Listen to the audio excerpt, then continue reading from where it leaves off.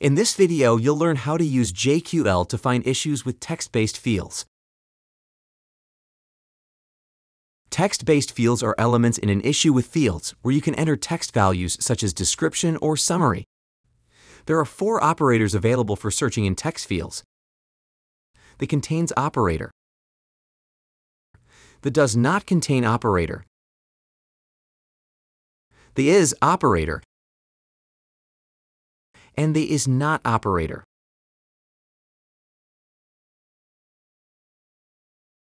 You can use the contains operator to locate issues by searching for any word or phrase that appears within an issue summary, description, comments, or custom text fields. Let's try this out. For example, say you wanted to locate all the issues across your projects that relate to finance reports. Select Search from the main navigation bar.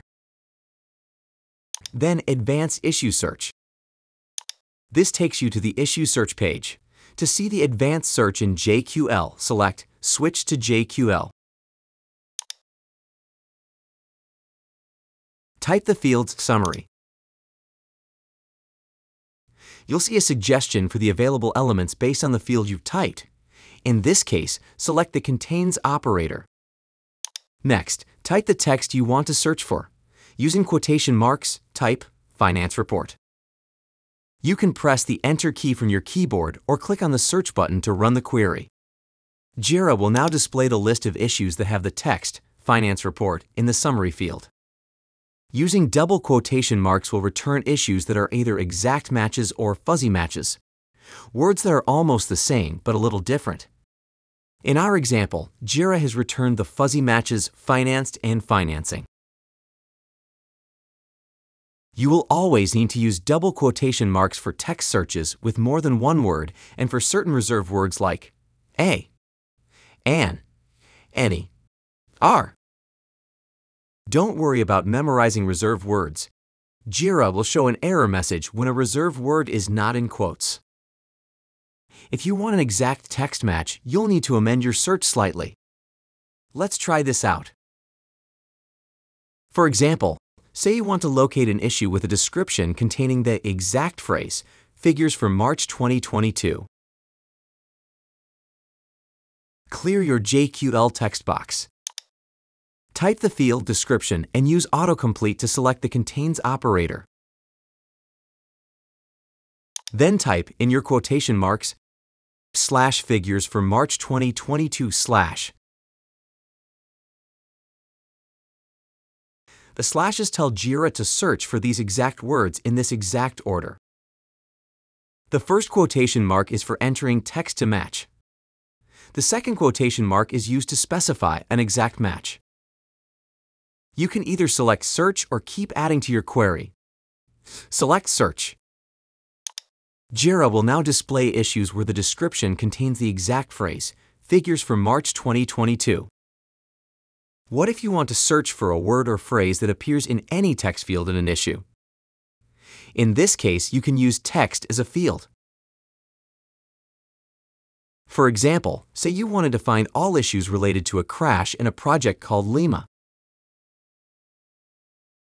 Clear your JQL text box type the field text, add the contains operator or tilde symbol from your keyboard, and then the word crash. Select Search. JIRA will now show you issues that have the word crash in any of their text fields. The text value is non-case sensitive. This means that even when we change crash to uppercase, JIRA will search using the same text. There are more ways to search with text using the is and is not operators. You can pair that is and the is not operators with empty to find issues where a text field is or is not populated. Let's try this out.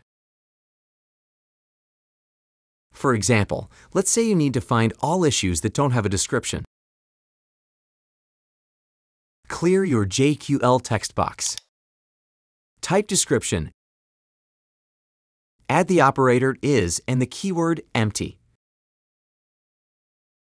JIRA will now return all issues that don't have a description.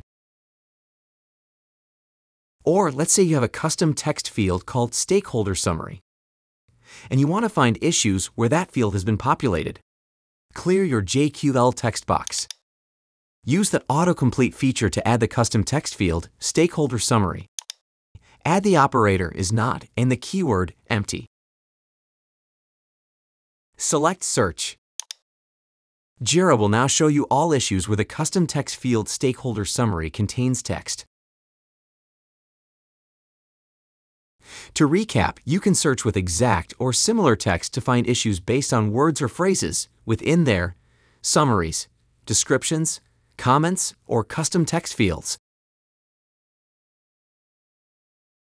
The operator you use will determine whether JIRA includes or excludes the specific text or field value you're looking for.